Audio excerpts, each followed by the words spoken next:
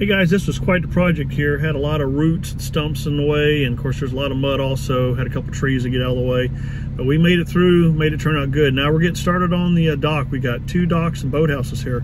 We're gonna get on one, then we'll have to come back and do the other one, but we'll get them done. And um, keep an eye out. You'll see this video as we uh, get it posted. Uh, hey guys, here's a new project we're starting. It's a uh, seawall and a boathouse. This old boathouse is coming down. We're gonna be demoing that, hauling it to the Kelly's Reclamation Center over here. A lot of good stuff there. People love getting all that old reclaimed wood. Plus it's a lot cheaper than the new stuff right now. We'll be tearing this one out. And we got next one right next door. A little bit older, looks like it's about to fall apart. Gotta be careful taking that one apart. And then when we get done, we got a seawall starting down there at the pine tree, all the way down there. Come along the shoreline here, all the way back over to the other seawall over there. So quite a bit of seawall here. I think it's close to uh, 250 foot, maybe about 300 foot. Demo is pretty much complete. Got the boathouse is tore out today, the lift's tore out, got just a little bit of walkway left so we could get out to our barge in the shallow water and get started on the seawall Monday morning.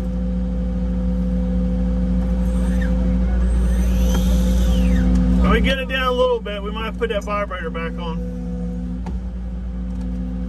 Drag plates on, now put them down in place.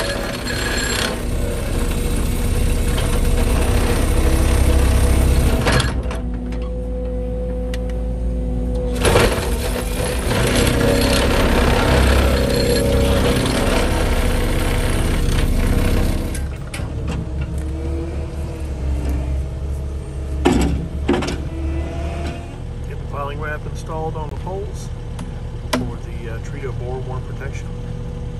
For as long as the life of the poles keeps all the bugs and animals out of the poles from eating them up.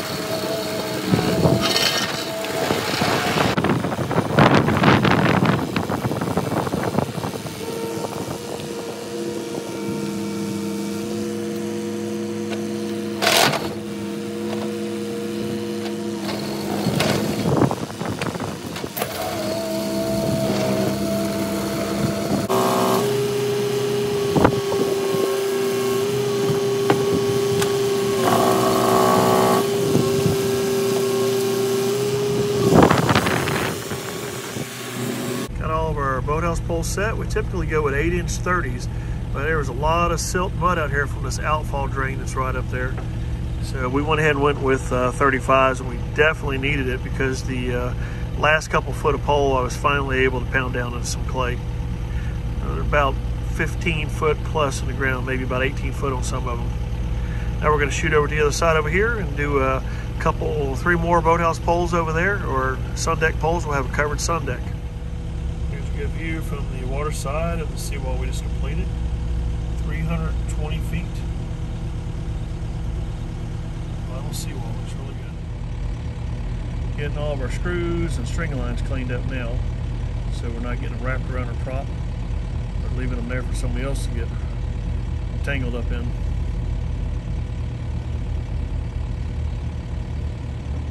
Look at that there. The guys put a big effort into getting all these poles lined up because we know the guys that come in after us to frame it up has to deal with all the poles being out of place and square. So we take a lot of time to make sure all the pilings lined up at the bottom for the decking and also at the top for the boathouse band. Nice straight lines. That just don't happen overnight. It takes a lot of practice. Let's Freddie down the boat ramp with a package of uh, framing package for the project. Stringers and the decking. Got the barge coming in now. We're going to load some scrap we had on there. Get all this loaded up and deliver it right to the job site. Beats having to carry it down that big hill over there. Got the framing package loaded up on the barge with all the decking. Now fix them head over to the job site and get it dropped off.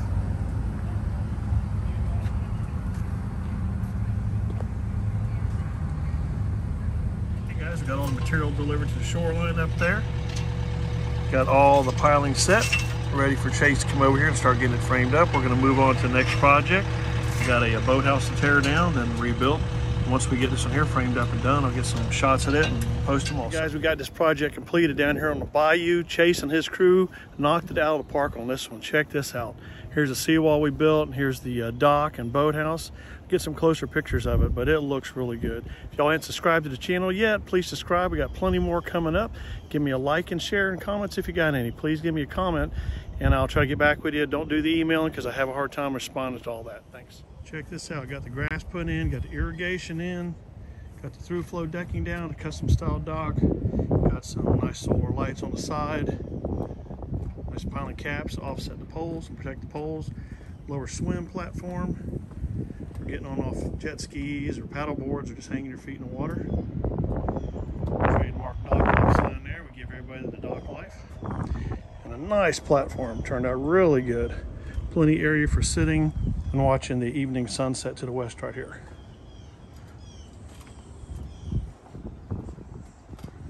This is definitely the dock life.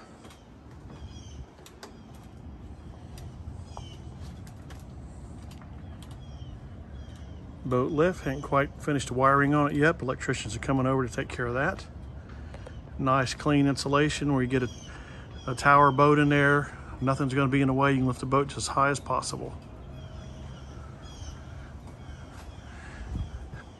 Look at this beam. We spanned it actually 16 feet over here on this one here. Got a quadruple beam going across. That is heavy duty. Nice clean look up in the ceiling again over here as well. Lower step down for low water operation on this side when you tie a boat up alongside.